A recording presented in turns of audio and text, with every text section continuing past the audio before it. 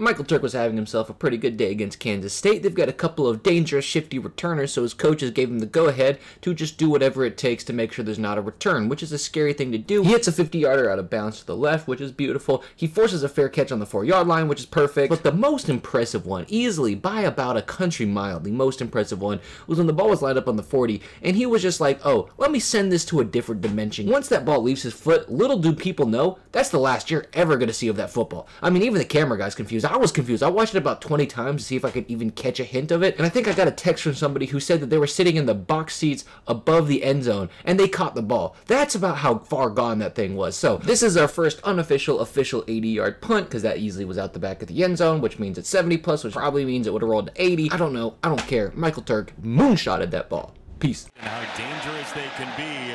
But Oklahoma has its own weapon to avoid that with Michael Turk.